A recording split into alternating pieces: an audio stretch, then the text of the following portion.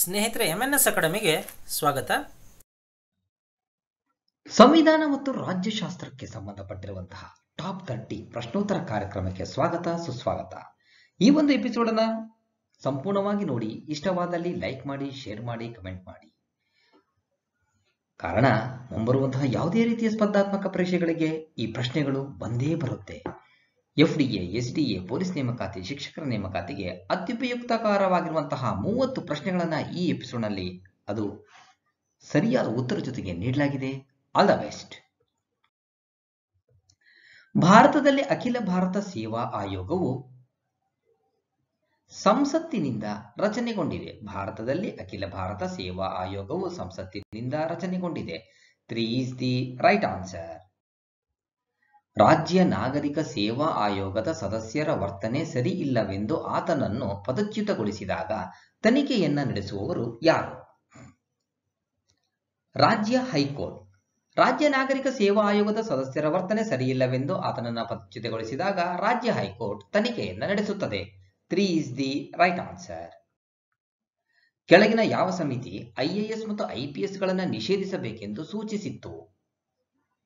Raj Mannar commission Raj Mannar commission IAS ಮತ್ತು ಐಪಿಎಸ್ಗಳನ್ನು ನಿಷೇಧಿಸಬೇಕೆಂದು ಸೂಚಿಸಿರುವಂತಹ ಒಂದು committee.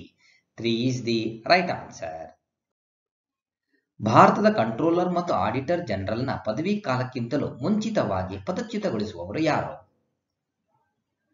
ಸಂಸತ್ತಿನ ತೀರ್ಮಾನದನ್ವಯ ರಾಷ್ಟ್ರಪತಿಗಳು, ಕಂಟ್ರೋಲರ್ ಅಂಡ್ ಆಡಿಟರ್ ಜನರಲ್ನ ಪದವಿ ಕಾಲಕ್ಕಿಂತಲೂ, ಅಂದರೆ ಅವನು ನಿವೃ, ನಿವೃತ್ತಿ ಆಗೋದಕ್ಕಿಂತ ಮುಂಚಿತವಾಗಿಯೇ ಪದಚ್ಯುತಿಗೊಳಿಸಬಹುದು. ಆದರೆ ಸಂಸತ್ತಿನ ತೀರ್ಮಾನ ಅತಿ ಅವಶ್ಯ.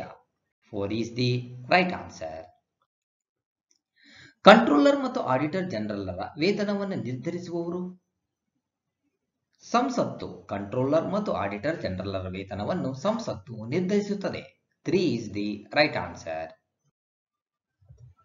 controller ಮತ್ತು ಆಡಿಟರ್ ಜನರಲ್ರ ಸ್ಥಾನ ಅಥವಾ ಕಚೇರಿ ಯಾರಿಂದ ರಚಿಸಲಾಗಿದೆ? ಸಂವಿಧಾನದ ಪ್ರಕಾರ ಕಂಟ್ರೋಲರ್ ಮತ್ತು ಆಡಿಟರ್ ಜನರಲ್ ಅವರ ಸ್ಥಾನ ಅಥವಾ ಕಚೇರಿಯನ್ನು ಸಂವಿಧಾನದ ಪ್ರಕಾರವೇ ರಚಿಸಲಾಗಿದೆ. One is the right answer ಚುನಾವಣಾ ಆಯೋಗದಲ್ಲಿ ಮುಖ್ಯ ಚುನಾವಣಾ ಆಯುಕ್ತರ ಜೊತೆಗೆ ಇತರ ಸದಸ್ಯರು ಸಂಸತ್ತಿನಿಂದ ಸಮಯಕ್ಕೆ ಅನುಗುಣವಾಗಿ ನಿರ್ಧರಿಸಲ್ಪಡುತ್ತಾರೆ. ಚುನಾವಣಾ ಆಯೋಗದಲ್ಲಿ ಮುಖ್ಯ ಚುನಾವಣಾ ಆಯುಕ್ತರ ಜೊತೆಗೆ ಇತರ ಸದಸ್ಯರು ಸಂಸತ್ತಿನಿಂದ ಸಮಯಕ್ಕೆ ಅನುಗುಣವಾಗಿ ನಿರ್ಧರಿಸಲ್ಪಡುತ್ತಾರೆ. Three is the right answer ನಿವೃತ್ತಿಗೂ ಮೊದಲೇ ಮುಖ್ಯ ಚುನಾವಣಾ ಆಯುಕ್ತರನ್ನು ಯಾವ ರೀತಿ ಪದಚ್ಯುತಗೊಳಿಸುವುದು? ಸಂಸತ್ತಿನ ಶಿಫಾರಸಿನಂತೆ ರಾಷ್ಟ್ರಪತಿಗಳು ನಿವೃತ್ತಿಗೂ ಮೊದಲೇ ಮುಖ್ಯ ಚುನಾವಣಾ ಆಯುಕ್ತರನ್ನ ಪದಚ್ಯುತಗೊಳಿಸಬಹುದು. Two is the right answer ಹಣಕಾಸು ಆಯೋಗದ ಅಧ್ಯಕ್ಷರು ಹಾಗೂ ಇತರರ ಅರ್ಹತೆಗಳು ಸಂಸತ್ತಿನಿಂದ ಸಮಯಕ್ಕೆ ಅನುಗುಣವಾಗಿ ನಿರ್ಧಾರವಾಗುತ್ತದೆ. ಹಣಕಾಸು ಆಯೋಗದ ಅಧ್ಯಕ್ಷರು ಹಾಗೂ ಇತರ ಅರ್ಹತೆಗಳು ಸಂಸತ್ತಿನಿಂದ ಸಮಯಕ್ಕೆ ಅನುಗುಣವಾಗಿ ನಿರ್ಧಾರವಾಗುತ್ತದೆ. Three is the right answer ಹಣಕಾಸು ಆಯೋಗದ ಶಿಫಾರಸುಗಳು ಸಾಮಾನ್ಯ ಧನಾತ್ಮಕ ವಿಷಯಗಳ ಚರ್ಚೆಯ ರೂಪದಲ್ಲಿರುತ್ತದೆ. Three is the right answer SC ಎಸ್ಟಿಗಳ ಸಂರಕ್ಷಣೆಗೆಂದು ಪ್ರತ್ಯೇಕ ಸ್ಥಾನಗಳನ್ನು ಮೀಸಲಿಟ್ಟಿರುವುದಕ್ಕೆ ಕಾರಣ ಎ ಮತ್ತು ಸಿ, ಅಂದರೆ ಸಾರ್ವಜನಿಕ ಸೇವೆ ಹಾಗೂ ಶಾಸನ ನಿರ್ಮಾಣ. ಎಸ್ಸಿ ಎಸ್ಟಿಗಳ ಸಂರಕ್ಷಣೆಗೆಂದು ಪ್ರತ್ಯೇಕ ಸ್ಥಾನಗಳನ್ನು ಮೀಸಲಿಟ್ಟಿರುವುದು ಸಾರ್ವಜನಿಕ ಸೇವೆ ಮತ್ತು ಶಾಸನ ನಿರ್ಮಾಣಕ್ಕಾಗಿ. Four is the right answer ಈ ಕೆಳಗಿನ ಯಾವ ರಾಜ್ಯದಲ್ಲಿ ಬುಡಕಟ್ಟು ಇಲಾಖೆಯನ್ನು ಸಂವಿಧಾನಬದ್ಧವಾಗಿ ಸ್ಥಾಪಿಸಲಾಗಿದೆ?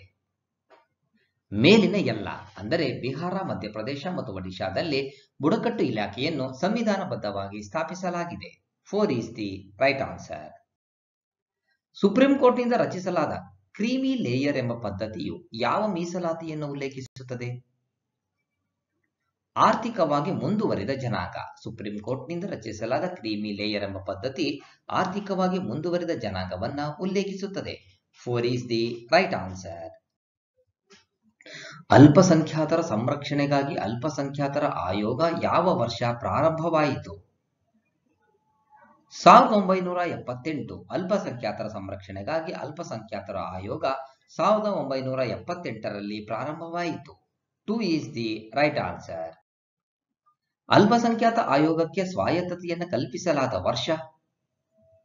ಸಾವಿರದ ಒಂಬೈನೂರ ಎಂಬತ್ತೇಳು ಅಲ್ಪಸಂಖ್ಯಾತ ಆಯೋಗಕ್ಕೆ ಸಾವಿರದ ಒಂಬೈನೂರ ಎಂಬತ್ತೇಳರಲ್ಲಿ ಸ್ವಾಯತ್ತತೆಯನ್ನ ಕಲ್ಪಿಸಲಾಯಿತು. Four is the right answer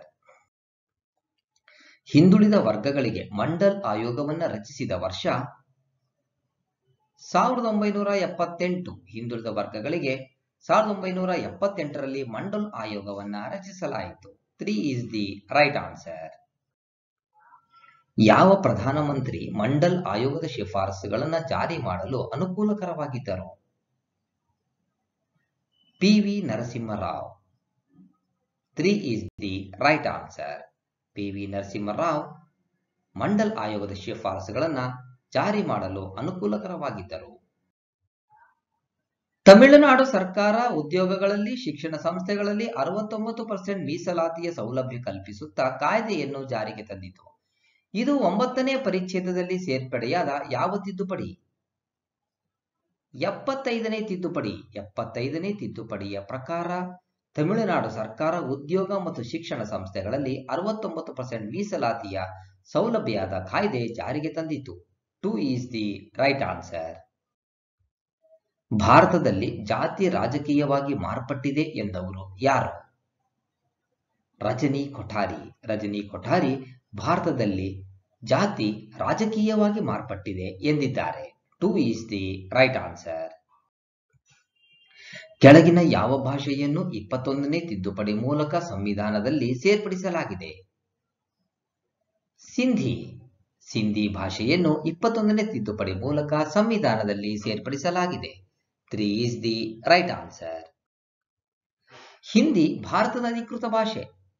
ಆದರೆ ಅಧಿಕೃತ ರಾಜಪತ್ರದಲ್ಲಿ ಇಂಗ್ಲಿಷ್ ಅನ್ನು ಎಲ್ಲಿಯವರೆಗೆ ಮುಂದುವರಿಸಬೇಕೆಂದು ಉಲ್ಲೇಖಿಸಲಾಗಿದೆ? ಅನಿರ್ದಿಷ್ಟ ಕಾಲದವರೆಗೆ ಅನಿರ್ದಿಷ್ಟ ಕಾಲದವರೆಗೆ ಇಂಗ್ಲಿಷ್ ಅನ್ನು ಮುಂದುವರಿಸಬೇಕೆಂದು ಉಲ್ಲೇಖಿಸಲಾಗಿದೆ.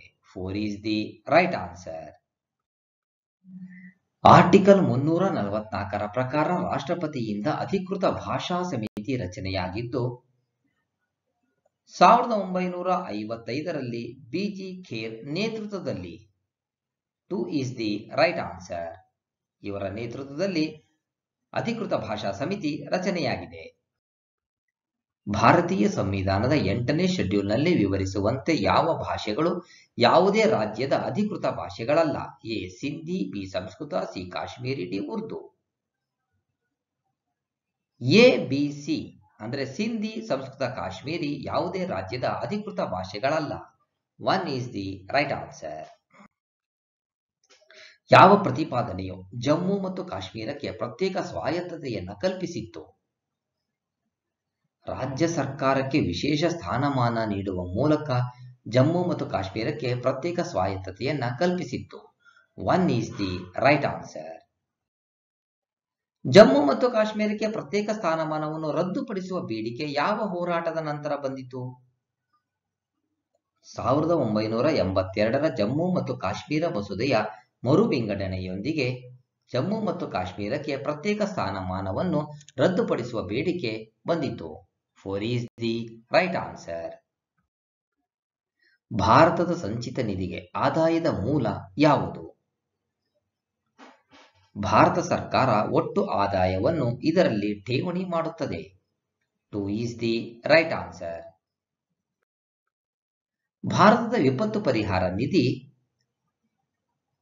ಸಂವಿಧಾನದಿಂದ ರಚಿಸಲ್ಪಟ್ಟಿದೆ. ಭಾರತದ ವಿಪತ್ತು ಪರಿಹಾರ ನಿಧಿ ಸಂವಿಧಾನದಿಂದ ರಚಿಸಲ್ಪಟ್ಟಿದೆ. One is the right answer. ಭಾರತದ ವಿಪತ್ತು ಪರಿಹಾರ ನಿಧಿ ಹೊರಗಡೆಯಿಂದ ವೆಚ್ಚ ಮಾಡುವುದು ಸಂಸತ್ತಿನಿಂದ ಹೆಚ್ಚುವರಿ ಅನುದಾನವನ್ನು ಪಡೆದುಕೊಳ್ಳುತ್ತದೆ. Two is the right answer ಭಾರತದ ಸಂಚಿತ ನಿಧಿಯಿಂದ ಹಣ ತೆಗೆಯುವುದು ಸಂಸತ್ತಿನಿಂದ ರೂಪುಗೊಂಡ ಅಪ್ರಾಪ್ರಿಯೇಷನ್ ಕಾಯ್ದೆಯ ಮೂಲಕ.